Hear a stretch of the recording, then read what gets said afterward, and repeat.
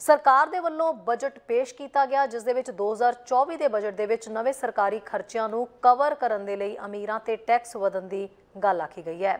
ਐਨਾ ਨਹੀਂ ਹਾਊਸਿੰਗ ਦੇ ਲਈ 8.5 ਬਿਲੀਅਨ ਨਵੇਂ ਖਰਚੇ ਸ਼ਾਮਿਲ ਨੇ। ਸਰਕਾਰ ਇਸ ਸਾਲ ਹੈਲਥ ਕੇਅਰ ਦੇ ਮੁਕਾਬਲੇ ਆਪਣੇ ਕਰਜ਼ੇ ਦੀ ਕਿਸ਼ਤ ਭਰਨ ਦੇ ਉੱਤੇ ਜ਼ਿਆਦਾ ਖਰਚ ਕਰੇਗੀ। 2024-2025 ਵਿੱਤੀ ਸਾਲ ਦਾ ਬਜਟ ਘਾਟਾ ਕਰੀਬ 40 ਬਿਲੀਅਨ ਡਾਲਰ ਹੋਵੇਗਾ। ਆਓ ਦੇਖਦੇ ਹਾਂ ਸਰਕਾਰੀ ਬਜਟ ਦੇ ਵਿੱਚ ਹੋਰ ਕੀ ਕੁਝ ਹੈ ਖਾਸ। ਫੈਡਰਲ ਸਰਕਾਰ ਅਗਲੇ 5 ਸਾਲਾਂ ਦੇ ਵਿੱਚ ਯੋਜਨਾਬੱਧ ਨਾਲੋਂ ਡਾਲਰ 52.9 ਬਿਲੀਅਨ ਵੱਧ ਖਰਚੇ ਕਰੇਗੀ। ਜੀ ਹਾਂ, ਅੱਜ ਦੇ ਬਜਟ ਦੇ ਵਿੱਚ ਇਹ ਖਾਸ ਗੱਲਾਂ ਤੇ ਧਿਆਨ ਕੇਂਦਰਿਤ ਕੀਤਾ ਗਿਆ। ਵਿੱਤ ਮੰਤਰੀ ਕ੍ਰਿਸਟੀਆ ਫਰੀਲੈਂਡ ਦਾ ਅਨੁਮਾਨ ਹੈ ਕਿ ਫੈਡਰਲ ਸਰਕਾਰ ਦੇ ਵੱਲੋਂ ਇਸ ਵਿੱਤੀ ਸਾਲ ਦੇ ਵਿੱਚ ਡਾਲਰ 40 ਬਿਲੀਅਨ ਦਾ ਘਾਟਾ ਹੋਵੇਗਾ। ਬਜਟ ਵਿੱਚ ਹਾਊਸਿੰਗ ਲਈ ਡਾਲਰ 8.5 ਬਿਲੀਅਨ ਨਵੇਂ ਖਰਚੇ ਸ਼ਾਮਿਲ ਨੇ। ਹੋਰ ਵੱਡੇ ਖਰਚਿਆਂ ਦੇ ਵਿੱਚ ਡਾਲਰ 6 ਬਿਲੀਅਨ ਦਾ ਕੈਨੇਡਾ ਡਿਸੇਬਿਲਿਟੀ ਬੈਨੀਫਿਟ ਤੇ ਡਾਲਰ 1 ਬਿਲੀਅਨ ਦਾ ਨੈਸ਼ਨਲ ਸਕੂਲ ਫੂਡ ਪ੍ਰੋਗਰਾਮ ਵੀ ਸ਼ਾਮਲ ਹੈ।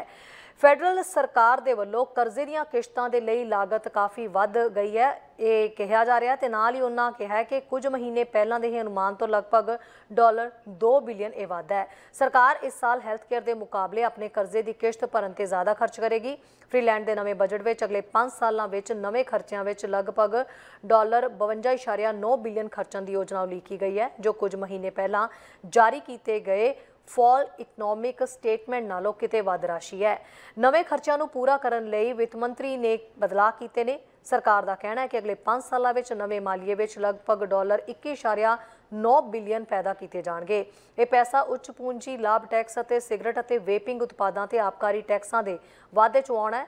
2024-2025 ਵਿੱਤੀ ਸਾਲ ਦਾ ਬਜਟ ਘਾਟਾ ਕਰੀਬ 40 ਬਿਲੀਅਨ ਡਾਲਰ ਹੋਵੇਗਾ। ਬੇਸ਼ੱਕ ਸਰਕਾਰ ਖਰਚੇ ਵਧਾ ਰਹੀ ਹੈ, ਪਰ ਉਹਨਾਂ ਦਾ ਕਹਿਣਾ ਹੈ ਕਿ ਬਿਹਤਰ ਆਰਥਿਕ ਵਿਕਾਸ ਤੇ ਵਧੇਰੇ ਟੈਕਸ ਘਾਟੇ ਨੂੰ ਕਾਬੂ ਦੇ ਵਿੱਚ ਰੱਖਣਗੇ। ਕੈਨੇਡਾ ਸਿਰ ਲਗਾਤਾਰ ਵੱਧਦਾ ਕਰਜ਼ਾ ਸਰਕਾਰੀ ਖਾਤੇ ਨੂੰ ਬਹੁਤ ਮਹਿੰਗਾ ਪੈ ਰਿਹਾ ਹੈ। ਪਿਛਲੇ 9 ਸਾਲਾਂ ਦੇ ਵਿੱਚ ਸਰਕਾਰੀ ਕਰਜ਼ਾ ਵੱਧ ਕੇ 1.4 ਟ੍ਰਿਲੀਅਨ ਡਾਲਰ ਹੋ ਗਿਆ ਹੈ। ਇਸ ਕਰਜ਼ੇ ਨੂੰ ਦੁਬਾਰਾ ਫਾਈਨੈਂਸ ਕਰਵਾਉਣ ਲਈ ਵਧੇਰੇ ਵਿਆਜ ਦਰਾਂ ਅਦਾ ਵੀ ਕਰਨੀਆਂ ਪੈ ਰਹੀਆਂ ਨੇ।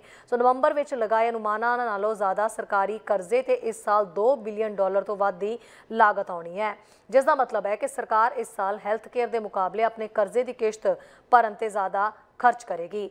ਹਾਊਸਿੰਗ ਬਜਟ ਦੇ ਵਿੱਚ ਖਾਸ ਤੌਰ ਤੇ ਸਭ ਦੀ ਨਜ਼ਰ ਟਿਕੀ ਹੋਈ ਸੀ। ਬਜਟ ਦੇ ਵਿੱਚ ਰਿਹਾਇਸ਼ ਲਈ ਡਾਲਰ 8.5 ਬਿਲੀਅਨ ਅਲਾਟ ਕੀਤੇ ਗਏ ਨੇ ਤਾਂ ਕਿ ਉਸ ਸੰਕਟ ਨੂੰ ਦੂਰ ਕੀਤਾ ਜਾਵੇ, ਜਿਸ ਨੇ ਨੌਜਵਾਨਾਂ ਨੂੰ ਘਰ ਦੀ ਮਾਲਕੀ ਦੇ ਸੁਪਨੇ ਤੋਂ ਹੀ ਬਾਹਰ ਕਰ ਦਿੱਤਾ ਹੈ।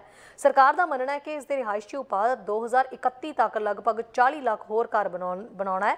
ਇਸ ਤੋਂ ਇਲਾਵਾ ਬਜਟ ਵਿੱਚ ਮਿਊਨਿਸਪੈਲਿਟੀਆਂ ਨੂੰ ਘਰਾਂ ਦੀ ਉਸਾਰੀ ਲਈ ਹਾਊਸਿੰਗ ਐਕਸੀਲਰੇਟਰ ਫੰਡ ਰਾਹੀਂ ਵਾਧੂ ਫੰਡਿੰਗ ਘੱਟ ਵਰਤੋਂ ਵਾਲੀਆਂ ਸਰਕਾਰੀ ਜ਼ਮੀਨਾਂ ਤੋਂ ਉਸਾਰੀ ਪਾਣੀ ਤੇ ਸੋਲਿਡ ਵੇਸਟ ਲਈ ਵਧੇਰੇ ਫੰਡਿੰਗ ਨਵੇਂ ਕਿਰਾਏ ਦੇ ਮਕਾਨਾਂ ਦੀ ਉਸਾਰੀ ਲਈ ਕਈ ਬਿਲੀਅਨ ਦੇ ਲੋਨ ਤੇ ਗੈਰ ਲਾਗਪਾਰੀ ਸੰਸਥਾਵਾਂ ਵੱਲੋਂ ਕਫਾਇਤੀ ਰਹਾਇਸ਼ੀ ਯੂਨਿਟ ਸੁਰੱਖਿਅਤ ਕਰਨ ਦੇ ਉਪਾਅ ਵੀ ਸ਼ਾਮਿਲ ਕੀਤੇ ਗਏ ਨੇ।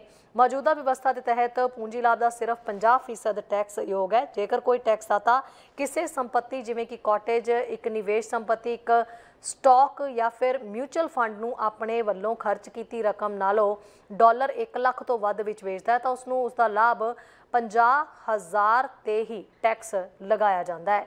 ਇਸ ਨਵੇਂ ਬਜਟ ਨਾਲ 25000 ਡਾਲਰ ਪ੍ਰਤੀ ਸਾਲ ਦੇ ਵੱਧ ਕੇ ਪੂੰਜੀ ਲਾਭ ਦੇ ਪਾਤਰ ਵਿਅਕਤੀਆਂ ਦੇ ਲਈ ਅਤੇ ਕਾਰਪੋਰੇਸ਼ਨਾਂ ਦੇ ਟਰਸਟਾਂ ਤੇ ਸਾਰੇ ਪੂੰਜੀ ਲਾਭਾਂ ਲਈ ਇਹ ਦਰ ਦੋ ਤਿਹਾਈ ਹੋ ਜਾਵੇਗੀ। ਕਾਰੋਬਾਰਾਂ ਦੇ ਵੱਲੋਂ ਇਸ ਫੈਸਲੇ ਦੀ ਆਲੋਚਨਾ ਹੋਣੀ ਤੈਅ ਹੈ, ਪਰ ਲਿਬਰਲ ਸਰਕਾਰ ਨੂੰ 2025 ਤੱਕ ਸਮਰਥਨ ਦੇ ਰਹੀ ਐਨਡੀਪੀ ਦੇ ਲੀਡਰ ਜਗਮੀਤ ਸਿੰਘ ਇਸ ਫੈਸਲੇ ਦਾ ਸਵਾਗਤ ਕਰਨਗੇ, ਕਿਉਂਕਿ ਉਹ ਦਲੀਲ ਦਿੰਦੇ ਨੇ ਕਿ ਮੋਟੀ ਕਮਾਈ ਕਰ ਰਹੀਆਂ ਵੱਡੀਆਂ ਕਾਰਪੋਰੇਸ਼ਨਾਂ ਨੂੰ ਮੁਲਕ ਵਿੱਚ ਬਣਦਾ ਹਿੱਸਾ ਜ਼ਰੂਰ ਪਾਣਾ ਚਾਹੀਦਾ ਹੈ। ਨਿਊਜ਼ ਡੈਸਕ ਤੋਂ ਚੈਨਲ ਪੰਜਾਬੀ ਦੀ ਰਿਪੋਰਟ ਸਾਡਾ ਹਰ ਇੱਕ ਪ੍ਰੋਗਰਾਮ ਦੇਖਣ ਤੇ ਸਾਡੇ ਨਾਲ ਜੁੜਨ ਲਈ ਸਬਸਕ੍ਰਾਈਬ ਕਰੋ। ਚੈਨਲ ਪੰਜਾਬੀ ਤੇ ਨੋਟੀਫਿਕੇਸ਼ਨ ਲਈ ਬੈਲ ਆਈਕਨ ਵਾਲੇ ਬਟਨ ਤੇ ਕਲਿੱਕ ਕਰੋ।